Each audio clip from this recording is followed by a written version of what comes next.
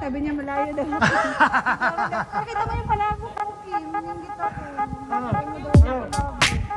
Rata. Sino boboto natin? Sino boboto natin? Sabi niya, kasama daw ang palabo. Bombong daw. Ano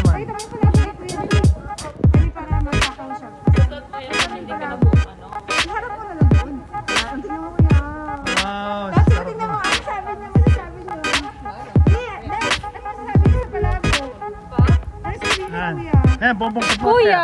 Meron tayong ano, ano, ano, ano, ano, Kuya. sino boboto? Si Sir Nick lang po. Ito, ito, presidente, presidente ng Pilipinas. Si Sir Nick po. tayo?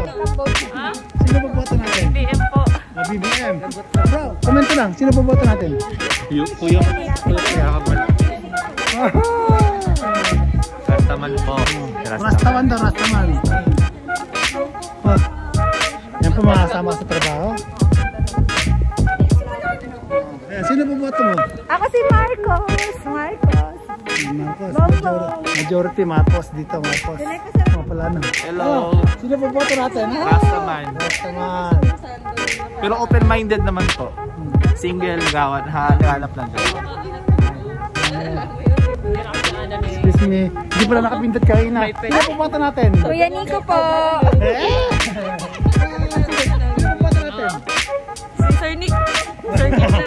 Sino sino boboto mo? Sige pa. Ikaw. Ah, BBM po eh. BBM. Ayun, nakakamali tayo. Ito BBM. Yan. Yung mga hapon, tatanungin natin.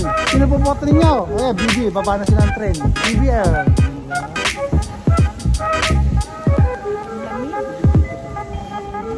Ah, dito po kami sa train station.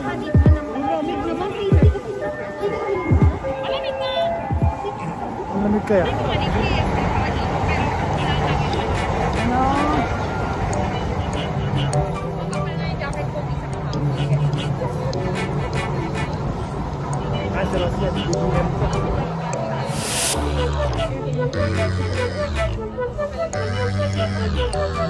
Ito screen, ito screening, baba ito.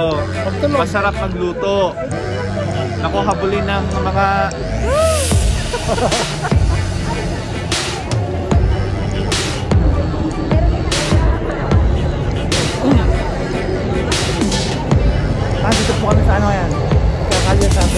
Ha, dahil sa sabi.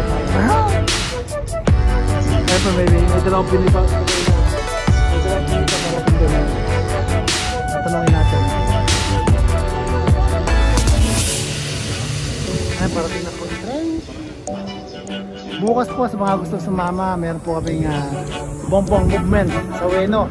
Alas 12 po, alas 12.